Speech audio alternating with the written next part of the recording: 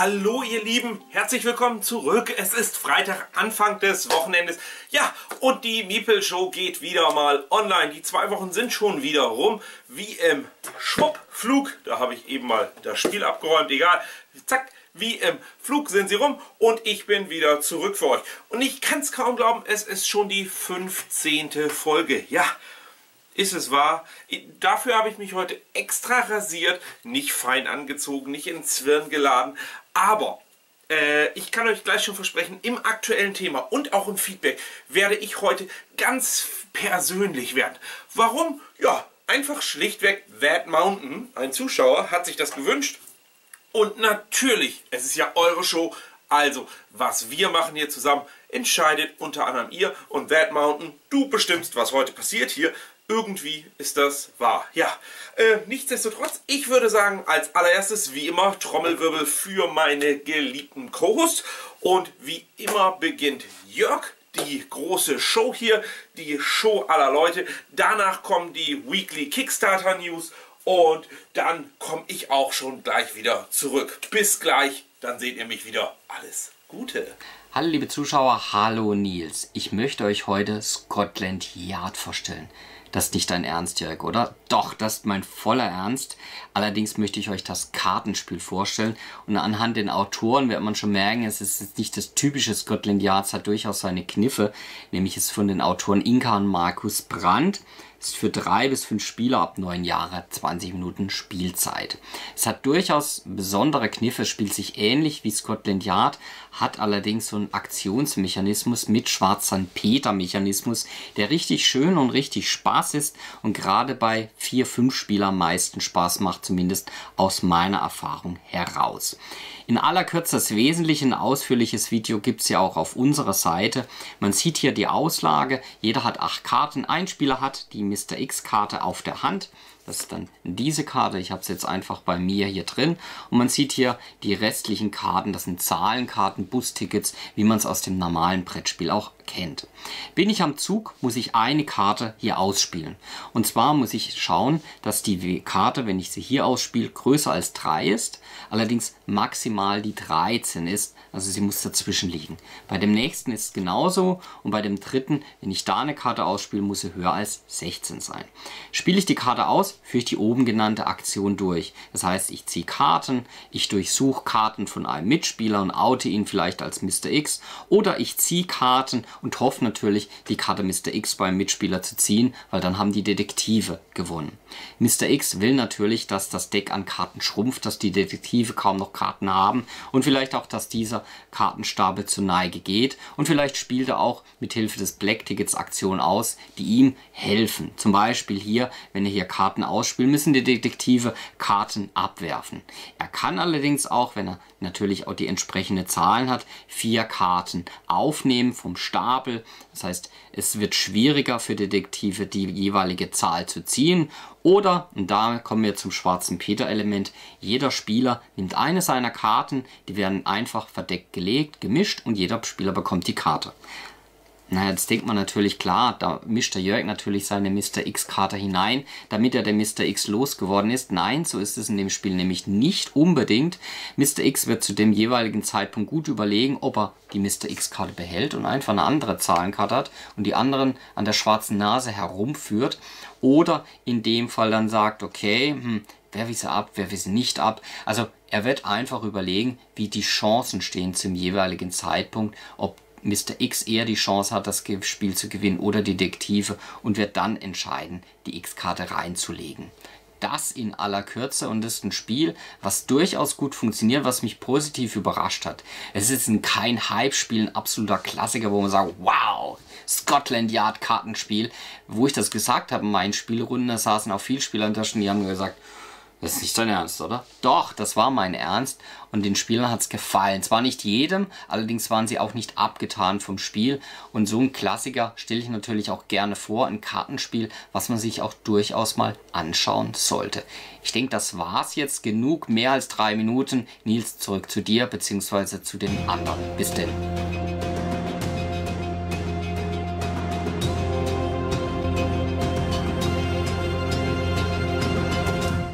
Herzlich willkommen, liebe Miepelinnen und Miepels. Äh, ich begrüße euch recht herzlich äh, zu der Sonderausgabe der Miepel Show. Vielen Dank, lieber Nils, dass wir auch diese Woche wieder dabei sein dürfen. Und wir präsentieren euch heute Fantasy Defense von Sweet Lemon Publishing.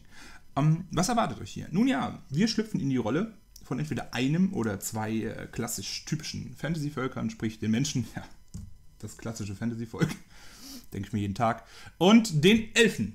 Ähm, das Schöne daran ist, äh, wir können jetzt das entweder alleine als Solitärspiel oder äh, zu zweit im Kooperationsmodus spielen. Wir bemannen nämlich im Laufe des Spiels Zug um Zug äh, die Turmmauern unserer Zitadelle und müssen diese so effektiv wie möglich verteidigen gegen die anströmenden Ork- und Drachenhorden.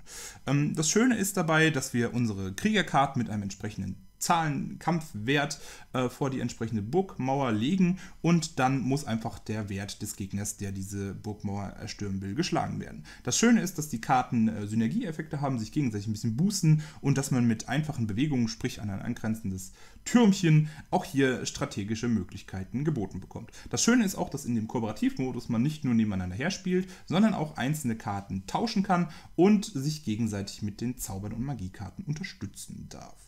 Gefundet ist das Spielchen auf jeden Fall schon. Ähm, wer genauer drauf schauen will, dem sei unsere Review ans Herz gelegt.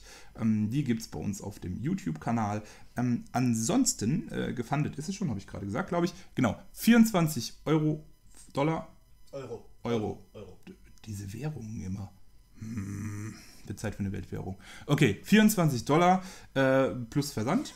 Ähm, gibt es äh, hier äh, zu verlieren um einen super kleinen äh, Kooperationskartenspielknüller abzustauben und das lohnt sich definitiv. Deswegen schaut es euch an, schlagt zu. Das war es auch schon wieder mit unserem Meeple Show Special. Ich hoffe, ihr hattet Spaß und wir dürfen nächste Woche wieder dabei sein, wenn es heißt, auf die Meeple fertig los.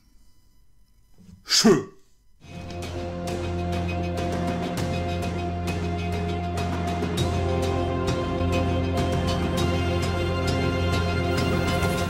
Danke Jörg, danke äh, Weekly Board Gamers Ballroom Show. Äh, ach, ihr, ihr, wisst es ja, die Kickstarter News natürlich vom Board Gamers Ballroom. Äh, ja, willkommen zurück zum aktuellen Thema und zum aktuellen Thema habe ich hier heute Ice Cool stehen und ich habe Codenames, die schwarze Edition hier stehen. Warum habe ich die? Diese ist noch äh, in wunderbarer Schrinkfolie und Codenames äh, und Ice Cool ist hier offen. Ja, ähm, That Mountain, ich habe es schon verraten, ein Zuschauer hat mich gefragt, wer bin ich eigentlich, was mache ich in den USA und, und, und. Der hat so einen ganzen Fragenkatalog gemacht. Und ich habe es schon versprochen, That Mountain, ich möchte heute auf dich ganz speziell eingehen. Aber zuerst noch mal ganz kurz äh, in der aktuellen Stunde hier, warum stehen diese beiden Sachen hier? Ja, ich habe mir gedacht, meine Co-Hosts, meine lieben Co-Hosts, die machen jede Woche was für euch und die geben sich so viel Mühe. Ich möchte denen mal was zurückgeben. Und also habe ich mir überlegt, dass ich Jörg, Chris und Tobi äh, natürlich können sich die anderen auch etwas wünschen, aber von euch habe ich schon einmal einen mehr oder weniger Wunsch bekommen, den ich rausgehört habe. Und für euch habe ich was gemacht. Für euch war ich unterwegs. Ähm, für Tobi, da habe ich mir quasi selber meine ähm, Herausforderung äh, ausgesucht. Ich habe gesagt, klar, ganz locker mal, ich gehe ins äh, Pieces, in unser Brettspielcafé hier in St. Louis. Ich war da und ich war da einmal nur für Tobi und habe im Winter schon äh, einen kleinen Film darüber gemacht. Den habe ich so ein bisschen geheim zurückgehalten, damit ich erst so ein bisschen was habe. Aber letzten Sonntag war ich da und ich war der große Host des ersten Ice Cool Tournaments hier in St. Louis. Gosh, meine Güte, war ich stolz. Ich durfte das große Ice Cool Tournament hier in St. Louis leiten und moderieren. War das Ihr könnt euch denken, was ihr wolltet. Naja, äh, darum steht das hier. Und für Jörg war ich unterwegs und habe dieses Codenames Black gekauft, weil er sich das gewünscht hat. Und auch darüber habe ich einen kleinen Film gemacht, wo es das gibt, wo es das hier exklusiv gibt. Und ihr werdet ein wenig was von St. Louis kennenlernen. Und für Chris war ich auch unterwegs. Für Chris war ich unterwegs auf der Suche nach dem Ferris Wheel oder aber auch dem Riesenrad. Er hat nämlich da in der Geschichtsstunde für äh, die Weltausstellung 18 93, 94, schwamm drüber, weiß ich jetzt auch nicht so genau, drüber gesprochen. Egal. Und auch das habe ich. Diese drei Videos, die ich gemacht habe, die werde ich demnächst und zusätzlich ein englisches äh, Turniervideo noch von iSchool innerhalb der nächsten zwei Wochen online stellen und dann könnt ihr hier bei mir auf dem Kanal die drei Dankeschön-Videos an Jörg, an Chris und an Tobi äh, sehen. Und für den Rest der Meeple Show Co-Hosts, also die Würfelbox, aber natürlich auch die Würfelwerfer, äh, euch lade ich ein, genauso übrigens natürlich wie Stefan aus Köln und Oma, euch lade ich ein, schickt mir doch einfach, ob ich irgendwas für euch tun kann und wie könnte ich es anders vergessen, den Ballroom natürlich, ob ich etwas für euch tun kann, ob ich ein kleines Video für euch drehen darf und dann stelle ich das natürlich auch gerne für euch online. Ja, gesagt, getan mit den Worten. That Mountain, du musst dich noch kurz äh, begnügen, aber gleich siehst du die Überleitung im Spezialteil. Bis dahin übernehmen wie immer die Würfelwerfer hier an der Stelle den ganzen Part und natürlich Chris von Victoria Pater. Ich bin schon darauf gespannt, was du dieses Mal im Köcher hast. Also, bis gleich meine Lieben, ich bin dann zurück. Also, übernehmt ihr.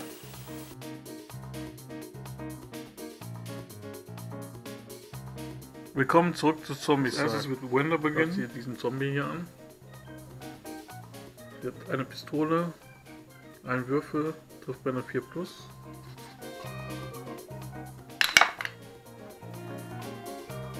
Das war nix. Zweite Aktion.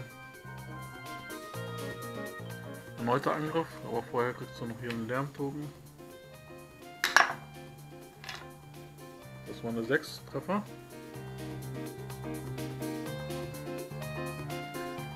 Lärmtoken. Und mit der dritten Aktion läuft sie hier ein zurück. Und dann haben wir den Phil, der greift diesen Zombie hier an, hat hier die Feuerwehraxt, Nahkampfangriff, kein Lärm, trifft bei einer 4 Plus mit einem Würfel. Das war nix. Zweite Aktion, erneuter Angriff. Das war schon wieder nichts. Dritte Aktion, tauscht er die Feuerwehraxt mit Duck gegen die Schrotflinte. Damit der Duck gleich äh, im Nahkampf weitermachen kann. Als nächstes kommt Duck dran. Der trifft auch die Feuerwehraxt an. Eine 4 Treffer. Ja, zweite Aktion. Greift er den nächsten Zombie hier an. 5 Treffer. Er bekommt zwei Erfahrungspunkte für zwei Zombies. Und äh, Wender hat hier auch einen erledigt. Kommt natürlich auch ein Erfahrungspunkt. Er wird jetzt äh, die Türe aufmachen, macht aber einen Lärm. Ein Lärmtoken hier. Das Öffnen der Türe. Nachdem die Türe geöffnet wurde, spawnen erstmal Zombies im Gebäude. Dann ziehen wir erstmal die erste Zombie-Karte. Äh, wir befinden uns noch in der blauen Phase. Also ein Zombie im ersten Raum. Schauen wir mal, was in dem Raum ist. Noch ein Zombie. Schauen wir mal, was in dem Raum hier ist. Zwei Zombies.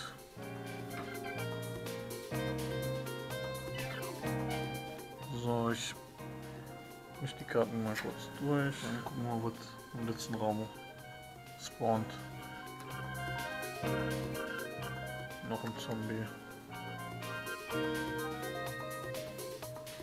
Ja, ziemlich voll geworden da hinten.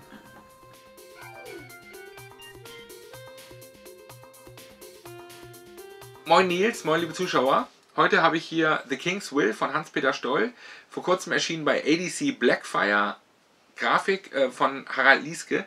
Ein Spiel für zwei bis vier Spieler. Es ist so, ja, so irgendwo so gehobenes Kennerspielniveau, bis aber doch schon eigentlich auch Expertenniveau. Also man muss ein bisschen äh, überlegen, ein bisschen machen bei dem Spiel. Ab zehn Jahren ist das Ganze. 60 Minuten plus äh, steht drauf. Und äh, ja, das trifft eigentlich auch ganz gut. So, wir sind Pfalzgrafen sozusagen und haben hier unsere kleine Pfalzgrafschaft, die im Laufe des Spiels ausgebaut wird mit verschiedenen Gebäuden, verschiedenen weiteren Geländetypen. Hier unten noch äh, Spezialgebäude, die wieder Fähigkeiten ins Spiel bringen. Und kennzeichnend äh, für das Herrschaft oder das, das kennzeichnende Herrschaftssystem eben im 10. Jahrhundert, in dem wir uns hier befinden, ist das Reisekönigtum. Und hier haben wir Reiseplättchen, denn der König reist rum. Von Pfalz zu Pfalz. Die Pfalz standen in, in Essen, in Quedlinburg, in Magdeburg, in, in, im Harz war viel, da war da viel so auf, auf, auf Reisen. Er war da auf, auf Winterquartier, hat da Jagdurlaub gemacht und so weiter und so fort. Und dementsprechend äh, wussten natürlich die Pfalzgrafen, der König steht ins Haus, beziehungsweise nicht nur der König, sondern seine gesamte Hofstadt, da war eine Kapelle dabei, da waren Kaplane dabei, da waren natürlich äh, Bedienstete dabei, Soldaten und so weiter und so fort und die mussten versorgt werden. Also König steht ins Haus, beziehungsweise Königsbesuch steht ins Haus. Wir brauchen Nahrung, wir brauchen Felle, beziehungsweise Leder und, und, und. Alles, was der König eben will. Ne? The King's Will oder des Königs Begehr sozusagen. Ne? Des Weiteren können wir eben hier ein äh, bisschen das Ganze forcieren, indem wir unsere Nahrungsproduktion bzw. Ressourcenmanagement und Gebäude äh, bauen hier so ein bisschen ankurbeln.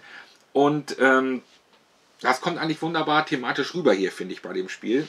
Ja, habe hier verschiedene Gebäude, äh, die alles so zeitlich ganz gut in den, in den Kontext passen, was es halt so gibt. Ne? Eine Gerberei, ein Hospital, äh, der Zehntkeller, äh, einfach um die Sachen zu lagern, die der König äh, ein, äh, einsacken will, einfach sozusagen.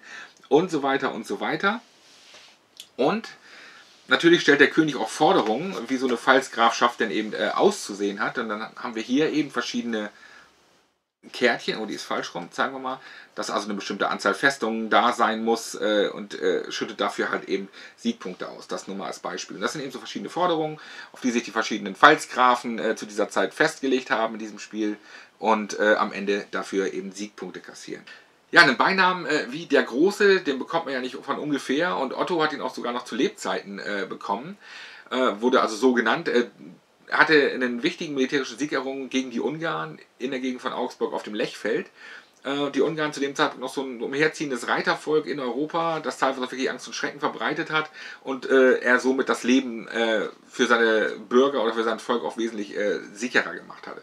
955 wurde Otto zum Kaiser gekrönt, beziehungsweise auch gesalbt.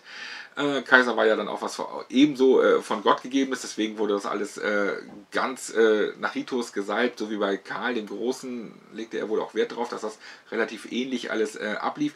Er hatte oft mit familiären Intrigen zu kämpfen im Vorfeld. Ähm, bis er seine Macht dann also praktisch etabliert hatte, hatte er wirklich also aus eigenen Reihen oder auch von anderen Fürsten, die da äh, gegen ihn intrigiert haben, ganz einfach er sich also erstmal durchsetzen musste, was ihm letztendlich aber ganz gut gelang. Und als zweiter äh, der Ottonen da äh, praktisch er das Herrschergeschlecht ganz gut etablieren konnte. Wo sich immer noch so ein bisschen gestritten wird oder beziehungsweise äh, wo es unterschiedliche Meinungen gibt, ist eben, sind die Ottonen, Otto 1, 2, 3, vorher sein Vater Heinrich, eben, äh, sind das deutsche Kaiser, sind es, äh, ist es das Deutsche Reich oder ist es eher noch in der Nachfolgetradition vom Frankenreich und das Deutsche Reich in diesem Sinne, in dem Fall eben noch nicht existent. Aber das ist eine andere Geschichte. Ja, das war äh, The King's Will und ein bisschen was über Otto den Großen.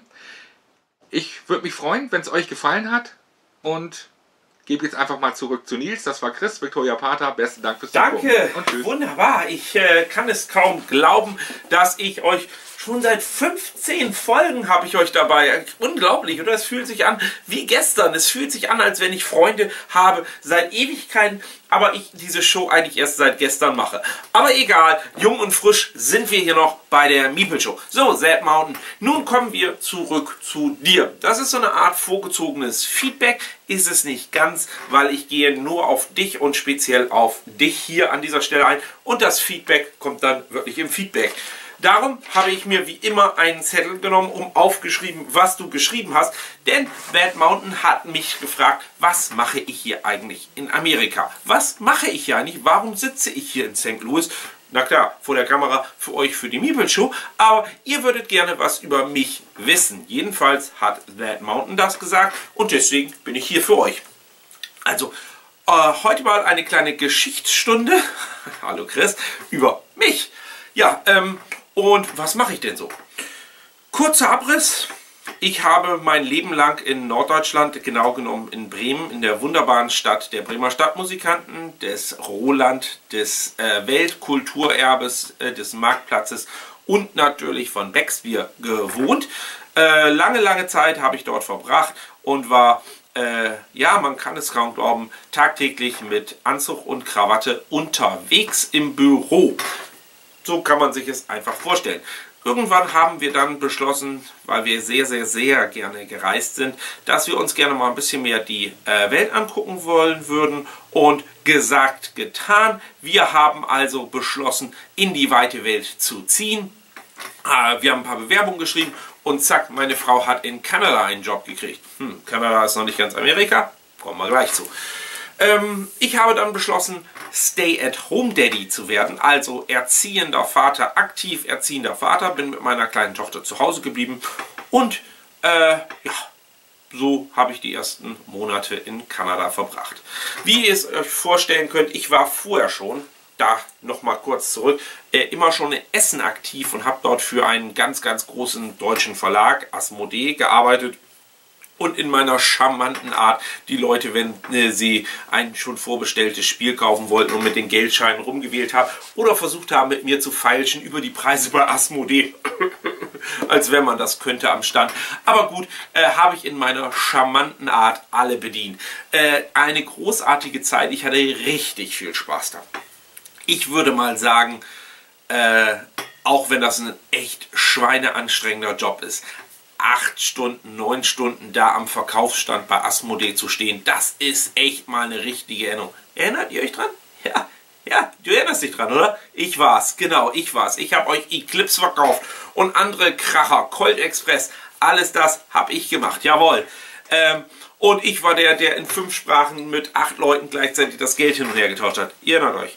Ähm, ja, äh, also auf jeden Fall, das hat mir so viel Spaß gemacht, dass ich sofort in Kanada beschlossen habe, Mensch, irgendwie lohnt es sich doch, das wieder zu machen. Habe so ein paar Kontakte spielen lassen und ein paar Firmen angeschrieben und zack, war ich auch wieder drin. Nun arbeite ich seit fast vier Jahren für einen amerikanischen Verlag hier in Amerika und äh, ja, ich weiß nicht warum, aber irgendwie mögen die mich hier äh, und schwupps bin ich jetzt quasi das Gesicht dieses Verlages. Also sprich auf jeder Convention, zu der unser Verlag hinfährt. Das sind so ungefähr 10 Conventions im Jahr. Da kommen dann noch übrigens diese ganzen witzigen Badges her hier. Da fahre ich dann hin zur BGG-Con, Gen-Con, Origins, Gathering, Geekway, zu allen denen zu Hausshows von Distributoren. Da fahre ich hin und vertrete unsere Firma. Äh, diese Firma, mit der bin ich jetzt mittlerweile seit vier Jahren am Rumtingeln. Ich leite den Stand, ich äh, stelle die Leute ein für den Stand, ich äh, repräsentiere natürlich den Stand, ich schließe ihn morgens auf und abends zu, bin dafür zuständig, dass die Sachen dahin kommen und, und, und, und, und. Und ich würde mich immer als das Gesicht der Firma bezeichnen, denn mich kennt man, alle wissen, aha, der Typ in seinem blauen Hemd, der steht da dann tagtäglich. Ja, kleiner Verlag, kennt man nicht so äh, doll, hat Tesla versus Edison hergestellt, hat ein paar Münzen hergestellt, hat ein paar richtig coole Geldscheine hergestellt. Stefan hat es ja schon äh, vor zwei Wochen unser Papiergeld vorgestellt. Das kann man natürlich auch kaufen. Atana heißt die Firma. Und unser wohlbekanntestes Spiel ist Tesla vs. Edison. Aber wir haben auch Einstein und wir haben auch Tomorrow und so weiter und so fort. Das vertrete ich hier in Amerika. Ähm, ja, und ganz nebenbei, wirklich so ganz nebenbei, mache ich seit äh, rund 14 Monaten den Chefeinkäufer für internationale Spiele für eine Firma, die heißt Miniature Market. Das ist die, der zweitgrößte US- Verkäufer von Brettspielen. Gleich hinter Cool Stuff Inc. sind wir die Nummer 2, in manchen Produkten sogar die Nummer 1. Und wir haben vor 14 Monaten damit angefangen, internationale Spiele von Deutschland oder von überall aus Europa hier in die USA zu importieren. Spiele, die es nicht gibt. Und wer macht es? Ja, also That Mountain. Äh, damit habe ich eigentlich erklärt, was mache ich in Amerika. Ähm, womit verdiene ich hier mein Geld, ähm, bleiben andere Fragen, die du gestellt hast. Was mache ich eigentlich so an Spielegruppen? Und auch da mache ich ziemlich viel, ehrlich gesagt. Als wir nach Kanada gezogen sind, um nochmal wieder kurz zurückzuspringen, ich weiß, ich springe jetzt hier so ein bisschen in der Zeit heute, äh, macht aber nichts, ähm, habe ich gedacht, naja, wie ticken die Nordamerikaner so und habe auf Boardgame Geek einfach mal Leute kontaktiert, die dort in der Nähe wohnen. Und einer, der zurückgeschrieben äh, hat, heißt Zen von Lim. Äh, als der zurückgeschrieben hat, war ich noch in Deutschland und ich habe gesagt, ich komme bald, bla bla bla. Und dann waren wir da und mein Englisch war ja auch noch nicht so gut und da hat man so ein bisschen, da ist man so ein bisschen schüchtern, kennt ihr alle, ne? Kennt ihr, seid ihr wie ich. Und ähm, ja, meine Frau hat mich dann so ein bisschen gedrängt an, wir sind glaube ich an einem, ich sag jetzt mal am Mittwoch da angekommen oder sowas und am Samstag äh, hat, sie mich gedrängt, ja Mensch, jetzt bist du schon ein paar Tage hier. Er hatte geschrieben, melde dich doch mal, hatte Sam gesagt, wenn ich da bin. Äh, und da haben sie mich so ein bisschen gedrängt. Internet hatten wir gerade. Äh, schreib ihm doch einfach mal eine Message. Und das habe ich dann gemacht, morgens so um 10, halb 11. Und er sagt, weißt du was, heute Nachmittag ist ein Grillabend und äh, Boardgame spielen, komm doch um 3 vorbei. Ja, Buchs voll. Äh, ich dahin. Äh, und zack, hatte ich meine erste Spielerunde. Wer jetzt nicht weiß, wer Sen von Lim ist, das macht überhaupt nichts. Äh, ich wusste das zu dem Zeitpunkt auch nicht, aber das ist ein ziemlich berühmter Spieledesigner, der unter anderem Belfort gemacht hat, aber auch Junk Art, Actori oder wie auch immer das heißt, jetzt das Godfather bei IDW. Der hat ordentlich viele Spiele rausgebracht mit Jay Cormier, seinem Spieleerfindungspartner. Zack, war ich auch da drin. Hm. Klingt irgendwie spannend, oder? Naja, und ich habe gedacht, was einmal geht, geht auch bevor wir nach St. Louis ziehen. Also habe ich, äh, bevor wir nach St. Louis ziehen, das gleiche nochmal gemacht. Und ihr werdet es kaum glauben, mit wem ich jeden Mittwochabend hier in St. Louis spiele. Ja, ihr kommt nie drauf. Jamie Stackmeyer von Stonemeyer Games. Mr. Viticulture und Scythe und demnächst Charterstone. Meine wöchentliche Spielegruppe mit Jamie Stackmeyer. Das soll jetzt hier euch nicht irgendwie neidisch machen oder so, soll euch ermutigen, dass es geht. Schreibt Menschen, die ihr äh, kennenlernen wollt, schreibt denen einfach mal. Und die meisten in dieser Industrie sind echt nette Menschen. Wirklich. Ja, glaubt es oder nicht. Am Donnerstag spiele ich dann übrigens jedes Mal mit äh, Schülern der siebten und achten Klasse, die haben ein Fach, glaubt auch das oder nicht, das heißt Board Game Design. Und die Lehrerin hat mich eingeladen, immer donnerstags mit den Kindern zu spielen, also gehe ich auch dorthin. So teste ich dann auch immer diese Spiele. Einmal mit Hardcore-Gamern, einmal mit Kindern. Am Wochenende gibt es meistens noch eine Spielerunde. Ich habe also drei regelmäßige Spielerunden und ich bin sehr, sehr glücklich damit. Dead Mountain, jetzt kommt die Katze aus dem Sack. Der richtige Kracher. Warum ich dieses ganze Spezial jetzt eigentlich mache. Die Katze aus dem Sack. Für euch alle Zuschauer, nicht nur für Dead Mountain. Und nach zwei Jahren hier in St. Louis ist unser Abenteuer in St. Louis zu Ende. Wir kommen zurück. Ab in die Heimat, meine Lieben. Ich komme zurück nach Deutschland. Dead Mountain wollte wissen, bin ich in Essen? Ja, natürlich bin ich in Essen. Denn in sechs oder acht Wochen ziehe ich von hier aus alle diese ganzen coolen Spiele. Ich habe noch keine Ahnung, was ich da mache, aber viele hoffe ich kann ich mitnehmen. Ist aber auch eine kleine, leichte Frage. Egal. Ab ins Flugzeug, alles eingepackt und dann, ha, dann geht's zurück in die Heimat, in die Heimatstadt nach Bremen, zurück nach Bremen. Ich werde wieder ein Norddeutscher. Moin, sage ich nur. 100% Werder. Ja, ich meine, beste Rückrunde, ganz nebenbei übrigens. Aber dazu später mehr. Ja, äh, ich komme wieder zurück nach Deutschland und ja, mal gucken, was ich dann alles so mache. Meine alte Gruppe, die ich am Montagabend, die montags mit mir spielt, hat schon angekündigt, mit mir zu spielen. Christoph wohnt um die Ecke von Victoria Barter hat auch schon angekündigt, mit mir zu spielen. Ich werde also das eine oder andere spielen, aber ich möchte alle von euch haben. Ja, genau, alle von euch. Und ihr kennt das, im Spezialthema rufe ich darauf, darauf auf, mit euch zu diskutieren. Ich möchte dieses Mal, weil ich so persönlich war, dass ihr jetzt auch so persönlich seid. Nehmt ein kurzes Video auf, gerne mit dem Handy oder wie auch immer und erzählt, wer seid ihr, wo kommt ihr her, wie spielt ihr und hey, ihr könnt Teil dieser Show werden. Nicht nur das, ihr könnt sogar auch ein Segment kriegen. Denkt dran, Oma hat das mal gemacht mit Zombie-Side, mit der Zombie-Side-Ecke. Er hat das jetzt eingestellt, weil er traurigerweise nicht genug Mitspieler gefunden hat. Er ist jetzt da auch ein wenig geknickt, der Arme. Danke übrigens nochmal, Oma. Ich äh, freue mich, wenn du wiederkommst mit einer neuen Idee vielleicht. Aber egal, ich würde von euch dieses Mal im Spezialthema gerne wissen. Dieses Mal keine Diskussion. Dieses Mal schickt mir ein kurzes zwei Minütchen, eine Minute Video. Wer seid ihr? Zeigt mir euer Gesicht. Deutschland zeigt das Gesicht. Und wo kommt ihr her? Also aus welchem Großraum? Und was sind eure Spielerunden? Das alles zusammen. Reicht doch schon, oder? auf den ganzen anderen Kladderadatsch, den du da noch geschrieben hast mit den Foren, bla bla bla. Ich habe jetzt so lange schon geredet. Ich möchte jetzt eigentlich wieder an meine Chorus abgeben, an die Würfelbox und natürlich Tobi den Brettspiel-Hero. Äh, sei mir nicht böse, Sad Mountain, aber sonst wird das ja auch ein langweiliger, einstündiger Monolog von mir. Also, auf zu euch, zur Box, zu Tobi und wir sehen uns dann wieder mit dem Feedback. Aber bis dahin, komm, schnackt ihr ein wenig. Bis dahin, alles Gute. Herzlich willkommen bei Top of the Box. Ich bin der Markus. Ich bin die Kathi. Wir sind von der Würfelbox und wir stellen euch wieder unser jeweiligen Top-Favorit zu einem ganz speziellen, teilweise außergewöhnlichen Thema vor heute sicherlich. Und zwar geht es heute um Metagames, also Spiele über Spiele.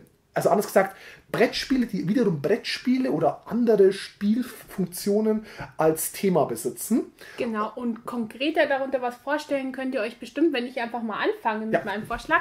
Ähm, es ist Millennium Play, es ist ein Kickstarter-Projekt von Level 99 Games, also leider nur im Englischen ähm, erschienen und es geht darum, ja im Endeffekt die Welt des Trading Card Games zu simulieren. Das fängt an beim Einkaufen, beim Tauschen, beim Deckbau, aber bis hin auch zur Turnierphase. Das Besondere ist, dass das Spiel in zwei Phasen aufgeteilt ist. In der ersten Phase geht es eben darum, sich Karten auf dem Markt zu kaufen, mit anderen Spielern zu tauschen, sich Accessoires zu holen für das Deck und eben auch sein Deck zu bauen ähm, Sammlungen zu erstellen. Also wirklich alles, was man sich unter so einem klassischen Trading Card Game eigentlich vorstellen und wünschen würde. Und in der zweiten Phase gibt es dann eben ein kleines Turnier, wo man die ge- gekauften Karten eben spielt. Ähm, das, was das Besondere ist, es gibt jetzt auch eine kooperative Erweiterung. Das heißt, dass die Spieler dann eben, es bleibt zwar alles sehr ähnlich, aber die Spieler spielen dann halt gegen ein sozusagen Bossdeck zusammen und versuchen das halt dann in der Turnierphase zu besiegen. Wirklich tolle Wahl, vor allem das eins meiner Favoriten von aller Zeiten ist. Jetzt wäre es langweilig, wenn ich das gleiche nochmal vorstellen würde, deswegen habe ich ein anderes Spiel dabei, was äh, mir ebenfalls sehr gut gefällt. Das ist das Spiel Roleplayer, auch nur im Englischen erschienen. Ähm, es geht dabei darum, dass man sich einen Rollenspielcharakter, wie man ihn zum Beispiel aus Dungeons Dragon oder DSA kennt, erstellt. Das heißt, es, es hat natürlich thematisch einen Würfelmechanismus, es ist ein Würfelspiel prinzipiell, aber gleichzeitig noch so ein gewisses äh, ja, Auktions- oder Draft-Spiel, könnte man sogar sagen, weil man verschiedene Würfel sich ergattern muss und dann die einzelnen Attribute seines Charakters wie Stärke, Intelligenz äh, oder Charisma nach oben zu leveln und man versucht auch noch gleichzeitig seine Hintergrundgeschichte zu erfüllen, beziehungsweise auf einem äh, Raster von gut äh, oder böse, beziehungsweise äh, gerechtigkeitsliebend oder chaotisch sich richtig einzuordnen, um am Ende die meisten Siegpunkte zu bekommen. Thematisch wirklich top, weil es auch vom Namen her genau das umsetzt, was man erwartet. Roleplayer, also ich errolle mir meinen Spieler oder würfle mir meinen Spieler.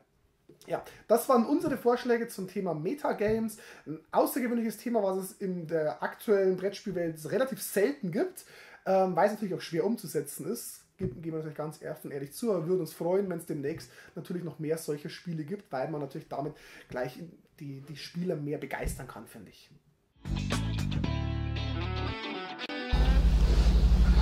Hallo Nils, mein Kumpel Chui und ich freuen uns schon wieder auf den neuen Meeple Show. Zwei Wochen schon wieder, Wahnsinn. Dann kam die Erweiterung. Invaders from Afar. Anleitung. Auch hier natürlich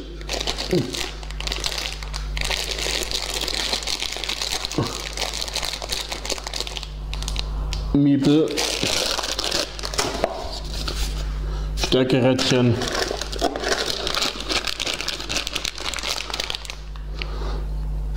Auch Albion bekommt seine eigenen Miepel.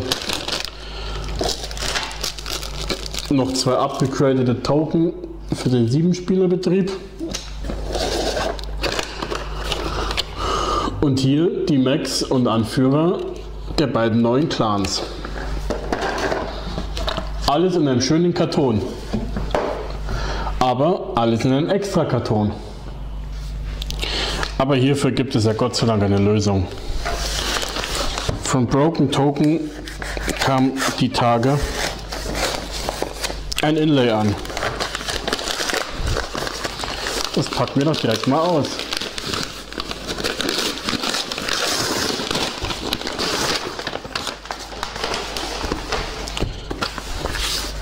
Tada! Broken Token liefert wieder mal eine super Lösung, um das Spiel in einen Karton zu bekommen, alles ordentlich aufzuräumen und der Aufbau geht um einiges schneller. Ich werde versuchen, bei Gelegenheit ähm, das, auf, das zusammengebaute Inlay nachzuliefern. So sieht es im Moment aus, wenn alles eingeräumt ist.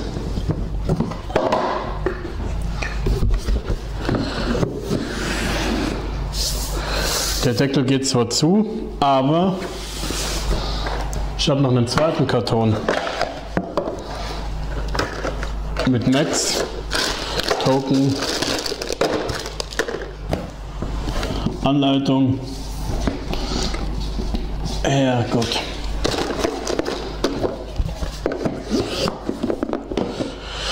Das so alles in eine Schachtel. Das war's schon für heute.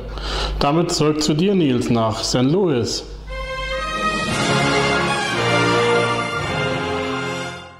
Hallo Nils, hallo liebe Brettspielfreunde, ich bin's Tobi, der Brettspiel-Hero. Heute habe ich euch Swordlands mitgebracht und das ist eben ja ein Brettspiel mit einem richtig guten Kartenmechanismus und genau das ist ja, was ich sehr, sehr liebe und den werde ich euch jetzt vorstellen. Die Spieler spielen eine der sechs Überlebenden einer postapokalyptischen Welt, jeder dieser Charakter besitzt unterschiedliche Ausrüstungen und Fähigkeiten im Spiel. Das Spiel hat einen simplen Windbewegungsmechanismus, der reale Segelprinzipien folgt. Die Geschwindigkeit ist abhängig von der Stärke und Richtung des Windes. Es ist nicht möglich, direkt gegen den Wind anzufahren, sodass Zickzackmanöver nötig sein können, um zu gewünschten Ziel zu kommen. Die Charaktere haben von geheimnisumwitterten Orten gehört, die ein sicheres Leben weit abseits des Raubzüge der Plünderer und der Gesetzlosen ermöglichen sollen. Um den Pfad zu diesem Ort zu finden, müssen die Überlebenden sich auf ein, ja, entbehrungsreiche Reise durch die Swordlands machen und dabei Gerüchte und Informationen über diese Orte sammeln. Wenn genügend Informationen gesammelt wurden, werden die Wege zu dem Ort enthüllt. Dabei entscheidet jeder Spieler, der einen Hinweis findet, wie dieser sich auf den gesuchten Ausweg auswirkt. Die Überlebenden versuchen auf der Suche nach Gerüchten und den sicheren Zufluchtsorten neue Ausrüstung zu finden und weitere Überlebende einzusammeln, um so lange wie möglich gegen die Riders sich wehren zu können. Die Riders verfolgen immer das nächste gelegene Ziel und greifen an, wenn sie aufgeholt haben. Jeder Spieler muss am Ende seiner Runde einer der Raiders auswählen, die sich noch nicht bewegt haben und dies auf den nächsten Ziel zubewegen. Dadurch wird die Reihenfolge der Raiders entschieden. Durch die Entscheidung, welche Gesetzlosen aktiviert werden, können Mitspieler behindert oder unterstützt werden.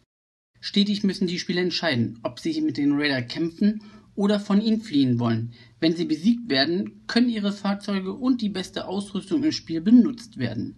Die Auswege zu den Zufluchtsorten müssen so schnell es geht gefunden werden oder das Ende kommt eher als erwartet, denn das Spiel geht über sechs Runden und wenn man bis dahin den Zufluchtsort nicht gefunden hat, hat man das Spiel verloren. Ja, das gehört jetzt zu meinen aktuellen Lieblingsspielen und habe das in der letzten Zeit auch richtig krass getestet und es hat einfach auch Spaß gemacht. Es gibt sehr viele Spielmodis, es gibt Schwierigkeitsstufen und sehr viele Charaktere und all diese Kombinationen macht das Spiel eben so ja, abwechslungsreich. Dazu gibt es noch ein modulares Spielfeld Plättchen, die zufällig gezogen werden, eine Wetterphase, wo das Wetter sich verändert und Gerüchte, äh, Karten, wo eben ja das Ziel sich permanent verändert und man am Anfang noch gar nicht weiß, wohin die Reise geht. All das macht es eben so spannend. Es ist sehr interaktiv. Ja, und der Kartenmechanismus und das Artwork, das haben mich eben überzeugt. Wenn ihr jetzt wissen wollt, wie das Spiel richtig funktioniert, den lade ich herzlich zu meinem Kanal ein, denn da habe ich ein richtiges Regel-Review-Video dazu gemacht und dann könnt ihr genau sehen, wie das Spiel funktioniert, wie es sich anfühlt und ob das was für euch ist. Ansonsten bekommt ihr das eben bei der Spieleoffensive und ich kann es euch auf jeden Fall wärmsten empfehlen. Und ich freue mich, euch in zwei Wochen wiederzusehen. Euer Tobi, der Brettspiel Hero. Bye bye. Menschenskinders, Tobi, Boxler, ihr habt's echt drauf. Ja, ich bin selber noch etwas geflasht von meinem wirklich doch eben persönlichen, sehr, sehr, sehr persönlichen Ausflug im Spezialthema. Äh, jetzt aber zurück zu euch zum Feedback. Und nochmal als Einladung zum Feedback fürs nächste Mal. Bitte, bitte, bitte schickt kleine Videoschnipsel ein. Ich würde mich freuen, hier jetzt an dieser Stelle mal ausnahmsweise nächstes Mal nicht zu reden zur 16. Folge, sondern dann einfach 5, 6, 7 kleine Schnipsel hintereinander wegzuschneiden mit vielen Gesichtern. Das schneide ich dann irgendwie süß zusammen und schön zusammen und hoffe, dass ihr dabei seid. Jetzt aber direkt zum Feedback eurer letzten Show, nämlich zum Organized Play. Und ich war ganz überrascht. Ich war ganz überrascht über euer Feedback. Ich hatte ehrlich gesagt gedacht, es gibt ein paar mehr mit Biss, aber das große, überragende äh, Thema war, ähm, eigentlich spielt ihr alle aus Spaß, was man ja so als Floskel auch immer gerne sagt. Aber wenn es dann doch zum Punkt kommt, habe ich das irgendwie ein bisschen anders eingeschätzt. Fehleinschätzung, vielleicht weil das hier in Amerika so ist, weiß ich nicht genau. Ähm, ich habe mich dennoch sehr gefreut über eure Rückmeldungen. Von den Mäusels immer äh, wunderbar. Die schreiben immer viel, das liebe ich. Behaltet es bei, bitte, bitte, bitte. Dafür komme ich ja auch übrigens zu euch. Ne? Ihr wohnt ja gar nicht so weit weg, wenn ich das richtig weiß. Ähm, also ihr habt schon Agricola und auf den Spuren von Marco Polo gespielt auf Turnieren und wenn ich das so richtig rausgehört habe, fandet ihr das auch ganz gut, würdet aber nur noch Spiele spielen, wo euch die Spiele auch richtig Spaß machen und natürlich auch, wo der Spaß im Vordergrund steht. Kann ich absolut verstehen, würde ich auch. Ich würde auch nicht an irgendeinem Turnier äh, teilnehmen für zum Beispiel Dice Masters oder Machikoro. Zwei Spiele, die ich jetzt persönlich nicht so gern. Ähm, von euch würde ich allerdings auch noch gerne wissen, was ist denn eine Anachronie-Party? Habe ich noch nicht gehört. Ist das irgendwas Cooles? Muss ich das wissen? Ansonsten verspreche ich euch, Mäusels, wir sehen uns, wenn ich zurück bin, in Bremen. Ja, gleich um die Ecke. Eine Stunde 1,20 von euch entfernt, wenn ich das richtig weiß. Autofahren. Für hier, für Amerika, sagt man um die Ecke. Ludensorium sagt, äh, Turniere sind nicht so sein Ding, Organized Play. Ihm fehlt einfach der Spaß daran. Klar, kann ich verstehen. Ich hatte ehrlich gesagt an den Turnieren, an denen ich teilgenommen habe, immer sehr viel Spaß. Aber das hängt sicherlich sehr, sehr, sehr stark an den, ähm, an den Mitspielern. That Mountain, ja, auf dich bin ich ja jetzt eigentlich schon mehr als eingegangen. Zum Thema Organized Play hast du nichts gesagt. Die Fuchsfamilie nehmen gerne an, auf Spieletagen an Turnieren teil äh, und machen das so, wenn ich das richtig rausgehört habe, regelmäßig. Zum Beispiel haben sie schon bei Dominion teilgenommen oder anderen Spielen von Zoch und Zoch veranstaltet das auch in regelmäßiger Umgebung. Beate Heinke würde gerne, hat aber einen Punkt ins Feld geführt, den ich sehr interessant finde, nämlich Zeit. Sie hat gesagt, wenn ich so zu Spieletagen fahre und sowas, da möchte ich die Zeit eigentlich damit nutzen, mir neue Sachen anzugucken, neue Sachen auszuprobieren und nicht an einem Turnier teilzunehmen. Und da ist mir doch glatt ein Gedanke gekommen, Beate, den ich absolut nachvollziehen kann. Ähm, diese Deutschen, und das soll überhaupt nicht hochnäsig oder anders äh, klingen oder sowas, aber deutsche und amerikanische Veranstaltungen, Conventions äh, Messen sind was komplett anderes. Deutsche machen morgens um 10 auf und abends um 6 zu. Hier in Amerika spielt man in der Regel 24 Stunden. Das geht dann vier Tage lang, schließt man sich ein in einem Convention Center oder einem Hotel und das wird dann genau vier Tage komplett durchgespielt. Also wirklich glaubt es oder nicht, das sind dann 96 Stunden am Stück spielen. Ja, klingt irre, ist aber so. Da hat man natürlich viel mehr Zeit. Äh, oh, das kostet allerdings auch immer in der Regel dann immer etwas mehr. Da kostet sowas dann schon mal die Teilnahmegebühr kostet dann sozusagen so um die 80 Euro äh, Dollar meistens. Und man muss natürlich auch noch irgendwie ein Hotelzimmer da haben, sonst kann man da ja nicht bleiben. Ähm, ja, Kira hat ebenfalls das Zeitproblem angesprochen und wie gesagt, das fand ich auch schon bei Beate relativ spannend.